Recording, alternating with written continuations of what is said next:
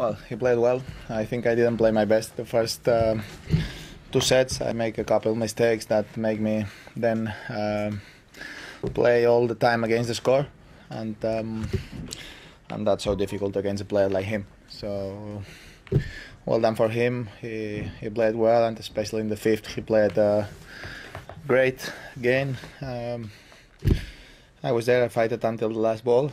Um, I think with the right attitude, probably uh, probably was not my best match, but at the same time, I played against a very uncomfortable opponent.